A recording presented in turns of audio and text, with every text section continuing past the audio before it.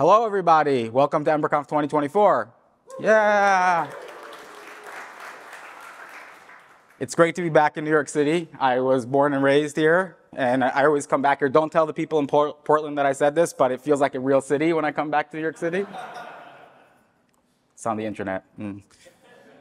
Um, so this is the Polaris Tomster, so it's cool. Uh, Melanie gets all the credit for doing the heavy lifting to make that happen, but I'm, I'm really happy with how it turned out, and we've needed a Polaris mascot for a while. Maybe it means we're finally getting close to being done. Um, so we've been working on the, Polar- the next edition of Ember for a while. This is, this is actually from the Octane era, but this is my kid Jonas uh, on stage at EmberConf in, I don't know, seven years ago. Uh, time gets weird when you're a parent. Um, and this is him now, so it's really cool. Um, in general, uh, what I really like about the Ember community is that it does often feel like a family, partly probably because we're a beleaguered crew, um, but also because I think we do, and I'll talk about this in a minute, have a lot of values of trying to work together. So there are a lot of other ecosystems that have, you know, little groups here and there, but I think the Ember community as a whole really feels like this is our this has been our slogan. The most fundamental thing about Ember for me is that we evolve together as a community, and it really does feel that way. Anytime you get around a group of Ember people, it doesn't just feel like people who are you're sharing a technology with. It actually does feel like family is maybe hokey, but it does feel like we're really working on something together and like we're all on the same page about what it is that we're working on. And when I say that we climb the mountain together, I mean a few things. I first of all mean that everybody works together with the same tools, whether they're beginners or experienced developers. And every one of these things that I'm about to say, like think about what it could mean elsewhere, right? So there are other places where um, not the beginners and the more experienced developers use different tools, right? Um, there's no special easy mode for beginners. The no easy bake ovens is a line I got from DHH back in the Rails days, but there's no special, you know, easy bake version where you're not really doing the real thing. Um, in some sense, you're dropped in on the deep end, but in reality, you, it's like a, you're working together with people who are using the same tools. And that means that things like blueprints, Ember CLI upgrade, et cetera, those tools like you could imagine are really just like the easy on-ramp, but actually they're used by everybody, like from the most beginner person to the most experienced person. Like I use those tools too. And um, the most experienced uh, developers in the ecosystem use the same tools as everyone else. Um, it also means that we move as an ecosystem together. Ember 1.0 was released more than 10 years ago now, and we've made a lot of changes in the interim. So we had ES modules in the 1.x era. Uh, we had Glimmer 2 in the 2x era. We did Octane, we did angle bracket components, and now we're doing template tags. So there's been a lot of changes. Um, but when we make major changes to the framework, a huge part of our process is thinking about how we get those new features into existing applications. And in practice, this means, sorry, this means that we design new features so that they can be ad adopted inside of existing patterns and existing applications. I'm going to talk about what that means in a minute, but I want to pause on that because that is definitely something that is a unique feature of Ember. Um, basically, every other framework, since Ember was created, every other framework that exists at some point has decided to not do this. And Ember has never decided to not do this. Um, so every, and that is why there are applications that are really, really old that are able to use new features today. So I want to just give a simple example. This is like drilling in a little bit, but I want to say what I mean. So here's a really simple example. It's from the Octane era. So at the time, we were migrating from curly notation on the left to the angle bracket notation on the right. And we made a critical decision to make th these two syntaxes behave as exactly equivalent. So in, the compiler takes the thing on the right side and the thing on the left side, and the thing that is actually happening internally is the same thing. We did that on purpose. And so in other words, we chose not to couple angle bracket syntax to the new Glimmer component base class or other changes that we were making at the same time. And what that means is that it allowed and still allows people to migrate directly to the new notation without having to worry about other changes that might be dragged along. So again, this is a very small example, but I think it's representative and in some sense it was like formative for us to figure this out. But the thing is, now that we migrated to the angle bracket notation, you can start doing things like using modifiers, which there was no way to do before, or you can use attributes on your existing components. You didn't need to migrate this info box component to the, a new base class. You didn't need to adopt, adopt tagless components or anything else. Like you might have wanted to do those things, but you didn't need to do those things to start using on or attributes, and that mattered for things like ARIA, et cetera, right? It's just a good feature, right? And that, what that means is that we could start relying as a framework on these new features, on the splattributes feature or the on feature, much earlier than we would have had we had to get everyone to migrate. Because then we would have been waiting for everybody. Like a ton of people would have still been using the old thing, and we would have said, "Oh, no problem, just migrate to angle brackets." And it would have been like, "Ah, what's that mean?" And maybe people still think that that's true today because they didn't realize this point. Um, but I, like, um, I just want to tell you, FYI, this is a reliable transformation. You need to use at syntax, right? But I think it's a reliable transformation and it's on purpose. So I have a bunch of these slides throughout my talk. Uh, these are heterodox opinions that are things that Ember believes that nobody else believes, as far as I can tell, or it's very rare. So this, this point is very important. Um, by designing features with the we move together value in mind, we make it possible for people to adopt the new features much more quickly. That not only means that the community moves together, it also means that people tend to adopt new features more quickly, which means that we get feedback from a wider variety of people earlier. The alternative of trying to rip the band-aid off to increase velocity, what, act, what that actually means is that we signed up for years of migration help. Um, people using older versions or older features still show up in our issue tracker or, or somebody's issue tracker, and they still need help. So paradoxically, the fastest way to rid ourselves of cruft that we don't like is to design with migration in mind. That way we can get people off of the old thing instead of having a bunch of new people on the new thing, a bunch of old people on the old thing, and you're still supporting both. That's like what happened with Python 3. Python 3, by the way, very successful, but doesn't mean it didn't impose pain. It's very painful. Very successful, very painful. Okay, so last year, um, Sarah talked about Heroku's decision to migrate a number of React and Rails apps to Ember.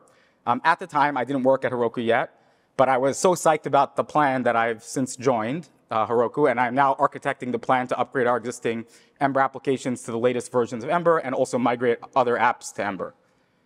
And the reason I'm saying this now, I could have said this in the beginning, is that I think one of the most enduring features of the Ember ecosystem is the number of applications that have been using Ember for many years and are still upgrading to latest versions. And in practice, I've said this in a bunch of keynotes, but in practice, this means that applications that have been around since 2015 or even 2013 are able to use aspects of the modern ecosystem that didn't even exist when the app was originally written. That's like Node ES modules, TypeScript, and tons of other things that have been have evolved. If you think about like what somebody would have written an app in in 2013, it's going to be like Backbone and like System.js or something you probably forgot a little Bower, right? And a lot of the apps that were written then, if they still run, are still using those things, right? Because like, what else are you going to do?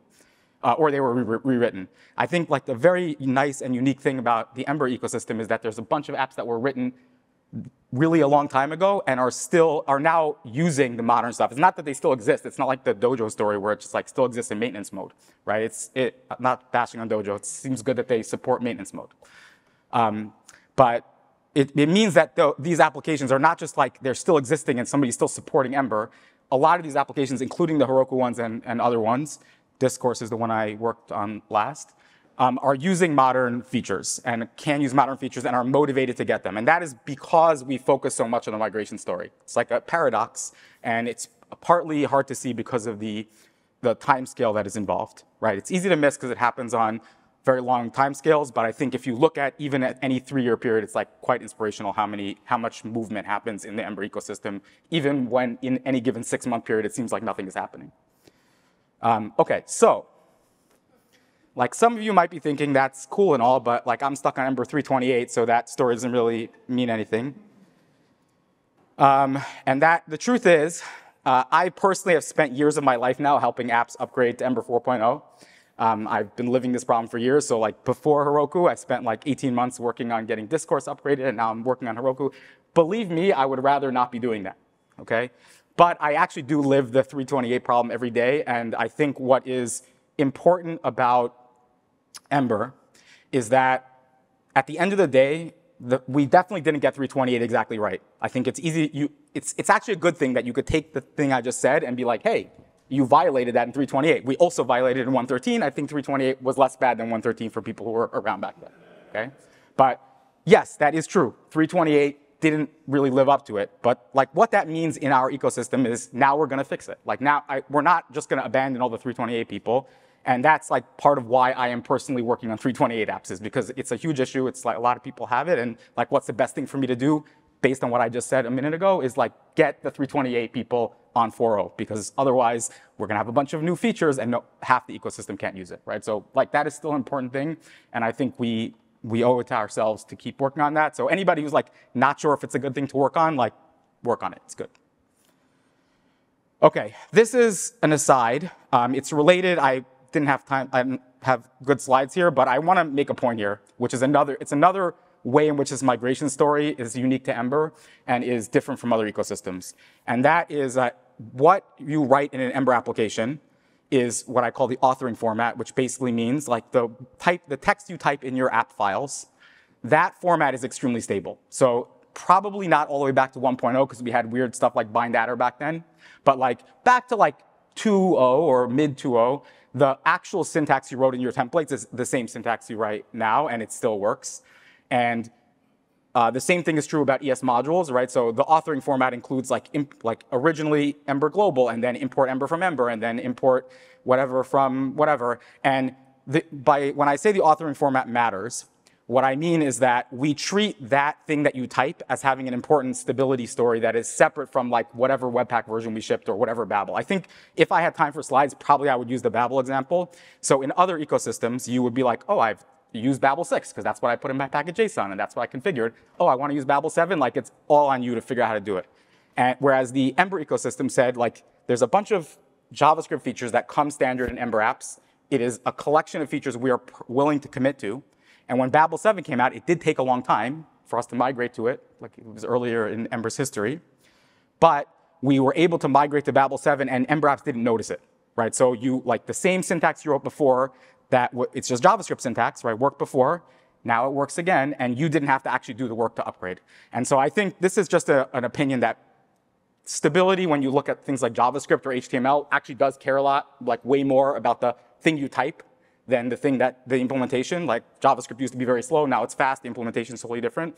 And I think a thing that we talk about and think about in the core team is this point. Like the authoring format is is a, is the place where stability lives. Uh, by the way, I like Rust also has the same opinion, and that's like why Rust's API is a is a source format thing and not like an ABI thing. If you're a C++ person, you are aware of all the ABI pain and suffering, right? So like basically saying the source and not the implementation is the place where the stability is, and the tooling is going to help keep that source fresh. But work, but the source itself is the same. It's the same thing you wrote five years ago.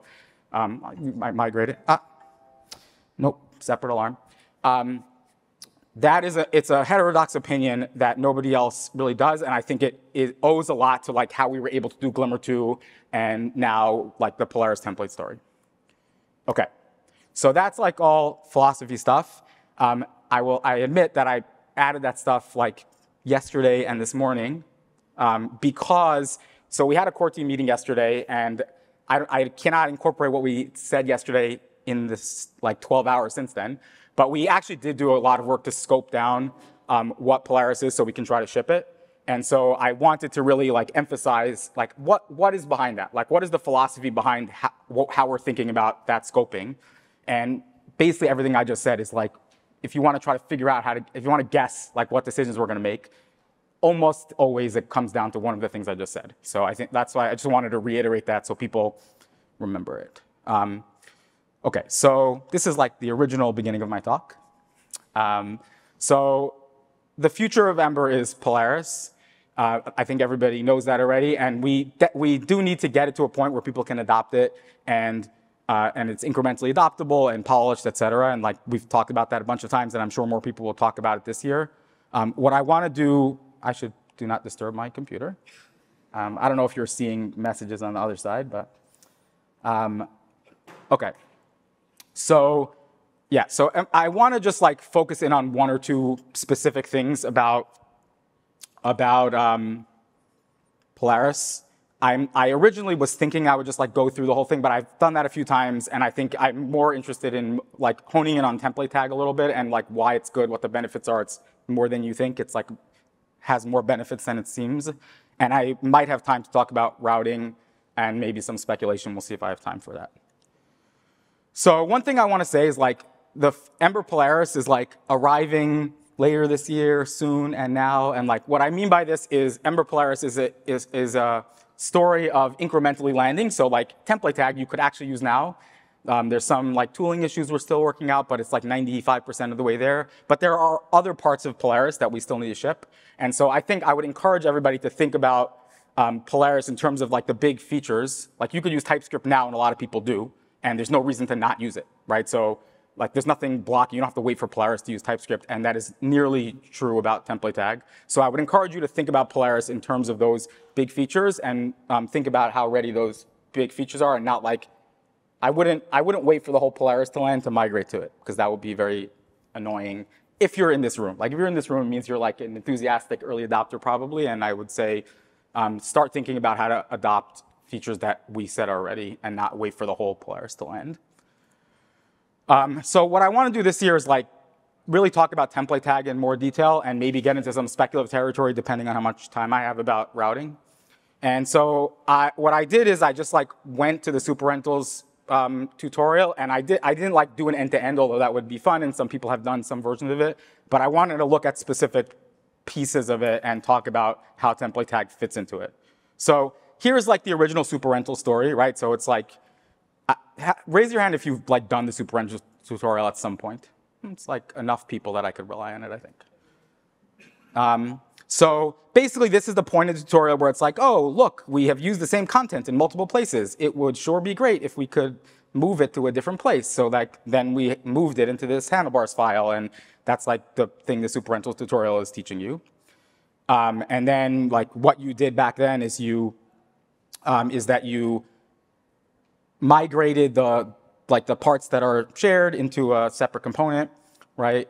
And yeah, and that's the middle part, right? Now, the thing I want to say is like that same example, that same example works with content tag. And the way it works is basically the exact same thing. Um, it's basically the exact same thing, except now you import Jumbo. Um, I'm using HashApp here. I talked to Ed about this yesterday about like, are we actually going to do this? I think we are actually going to do it, but I think there's still some small things to work out. But basically, there's an NPM feature now that lets you say like, here is an alias in my package JSON that points at some part of my app. So instead of having to like use the, your full app name, which you could totally use, but then if you refactor, it's like really annoying, or um, having to use like TypeScript path mappings or some tooling shenanigans, like this is basically the official way to do it. And I think as like Ember now wants to use the official way of doing it. So like I'm using it in my examples here, but I think we'll actually do it.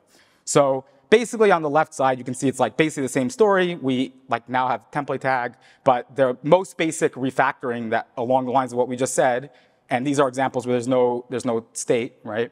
The most basic refactoring is just to like add a template tag and now you import things and that like unlocks all the ecosystem functionality like your like the better tooling, like static analysis, whatever, like all the things that people ever say they want Ember to be able to do, like really gets unlocked by just importing your components and um, using template syntax. Um, one thing I want to point out, and I think this is like not obvious to everybody, is that, and I, I think Ed told me this works already, is that the right-hand side is like is is just another use of template tag, right? So this is something where like a single file component solution can't actually do this a single file component solution, like you can't make, you have to, each test would have to be its own file, right? So this is a, a, situation where we still get to use template syntax, but we get to use it in multiple places. And if you're not sold on the, um, on the helper component story, which is like one reason to care, I think testing is a really compelling reason to care. And it's a way of getting us away from like yet another bespoke thing that we used to do. Um, that said, I think helper components is also a compelling reason to care about this. So here's another example in super rentals where we basically said, okay, like now we're gonna make a rental image. And I think the tutorial does it just to like show you that you can make a component, right? But it's like, by the way, you can make the rental image, and then by the way, dot, dot, dot attributes work, so you could pass SRC and alt, right? So it's like teaching some stuff in the original tutorial. And I think the point I want to make is like this is another really useful thing. Like you have the template tag syntax, but you can just easily extract pieces of it out and make your own local components. This is an example where you're just using template tag as is, but you could also put like make a, another class that you refer to. Like basically all the features work. And I think so. The, I'm basically trying to show you that there are some Um, like, why do we care about this? And it's not just like, oh, now you have to write import all the time. There's like some benefits that you get out of it. Okay. And then I just also want to point out if you're like, I don't want to have everything in my same file, like it's actually, even if you think that, it's actually nice to like start in the same file. Like I've done this a ton of times with template tag. It's like, I'm going to extract this, but this, I like right now, I just want to stay in the flow that I'm in right now. So I'll like put it in the same file for now. And it's like, it just works. And then because it's just like a JavaScript identifier, if I move it into another file and import it, like everything keeps working. So that's like a really nice thing. And I think the super rental tutorial probably would either tell you the thing I just said or just do the extraction in the first place, and then it's the same thing, right? But it's like, these are all just like, now a lot of different concepts are like coalesced into mostly JavaScript imports and this content tag feature.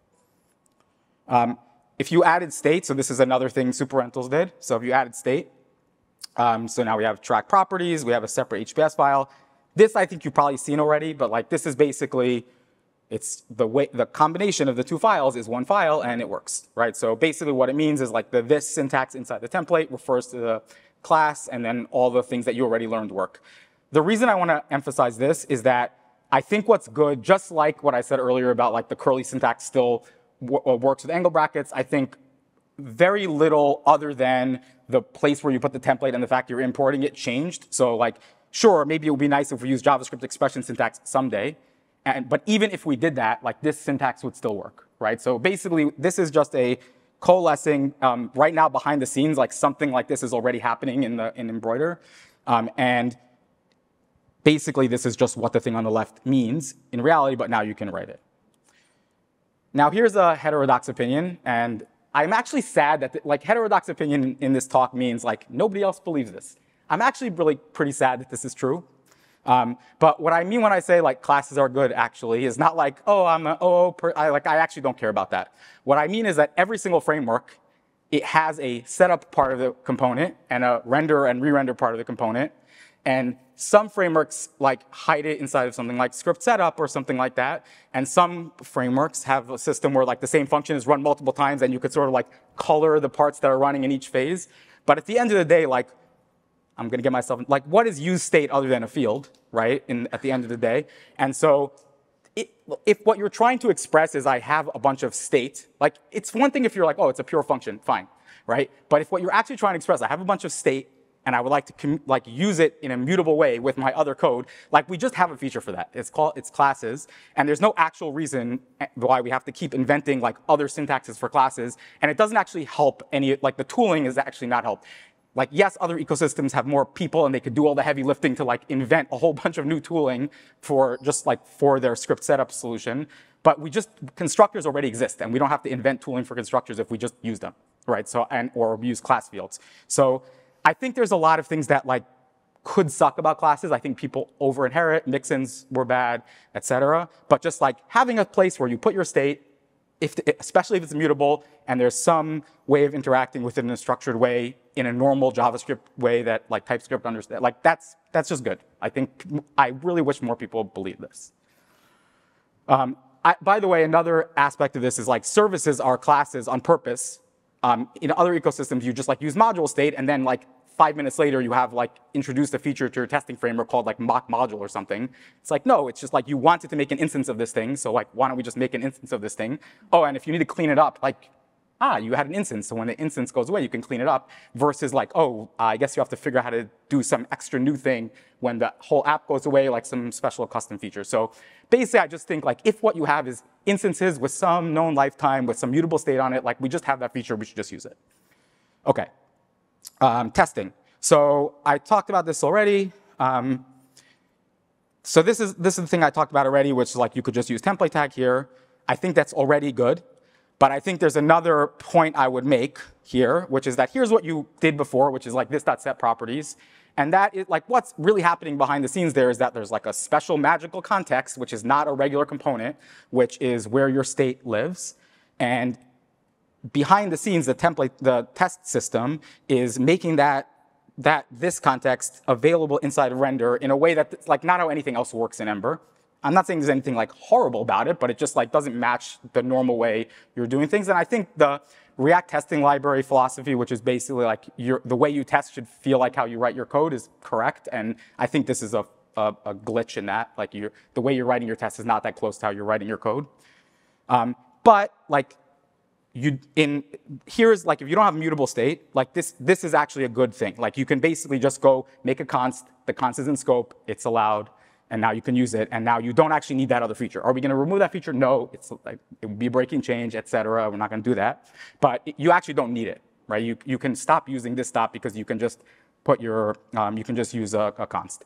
I also want to point out, I don't think I have a slide for this, but um, you also could use like a tracked object as the and then like just like pat, like you can mutate the tracked object. You don't actually need this dot. You can just like say const equals tracked object. You could pass that into your component and then you can mutate it from the outside. So basically there's like now that the template tag has the feature of things that are in lexical scope are in scope. Like now that that exists, you like there, it's just pretty easy to adapt a bunch of existing patterns. Um, here's a heterodox opinion that uh, is about testing is not um, totally on point, but it, like I was reminded of it as I was writing those examples again, this is like weirdly a thing that Ember is like uniquely cares about, and it's like actually the reason we still use QUnit. Um, which it, not that we have to use QUnit for it, but like it's it's the place where the people care about this constraint.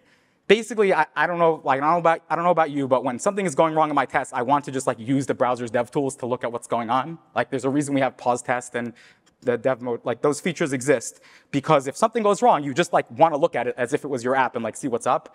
And like the second you go into another ecosystem, it's like, oh my God, like am I, I'm back to like printf debugging, which is like, it's one of these things like, like uh, go to considered harmful where like everybody already knows like printf debugging is bad. And yet it is like the only way to do debugging and tests in any other ecosystem. And I just like, again, it also blows my mind that people haven't like made oh, you just like use the node inspector and the Chrome Dev Tools, like ergonomic enough that everyone does it. Like for whatever reason, that's just not how it works. So what ends up happening is that like you just are back to printf debugging, and then it's like, okay, I just wasted like 10x the amount of time I could have just like, or 100, I could have just put a debugger and looked at it. And I do that like all the time. Okay, so what I want to say about template tag, this is like, I think I won't have enough time to talk about routing in depth, but what I want to say about template tag is that this is like the real takeaway. There's a unique thing going on in the Ember ecosystem that is not similar to what everyone else is doing here, which is that we still have templates. So we have a template feature. It uses normal HTML. It's not JSX. It's not a weird expression that runs a bunch of times. It's a regular template. Go watch other people's talks to find out why it's good. Like React is really the only system that doesn't use templates. Like everyone uses templates, Svelte, Vue, etc. Um, but those templates are embeddable inside of a file, right? So you don't need like a separate file that represents the entire thing, which you basically end up needing in there because they're trying to like invent a class, right? So it's like, oh, I, I need a class syntax, but I'm not using classes, so now I need to like have a script tag that represents the constructor and a whatever. And like that, you, it's not easy to resolve that. Um, but Ember does this, and I think like one of the reasons I keep working on Ember is like these heterodox opinions, and I think this particular one I'm like hoping other people try to adopt because I think there's something nice about both having like templates for all the things that are good about it and having them be embeddable.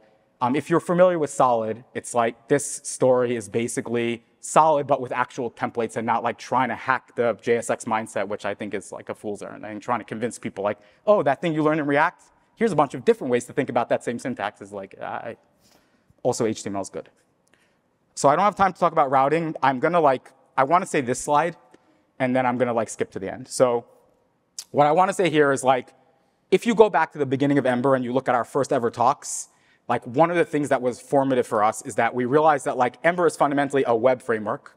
And what it means that it's a web framework is that URLs are front and center. The way you go to a uh, place on your, in your web app is by using a URL.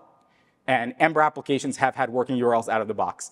That doesn't mean other ecosystems don't have routers. It just means that every single Ember app has a router and there's a URL, even if it's just slash. Like that, that is the way you get to your app.